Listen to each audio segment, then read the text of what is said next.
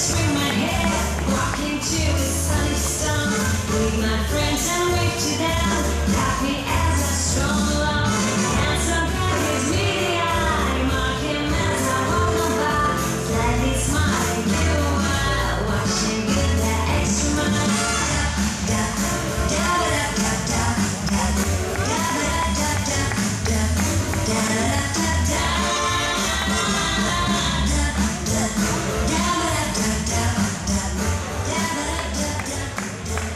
Thank you very much everyone uh, for your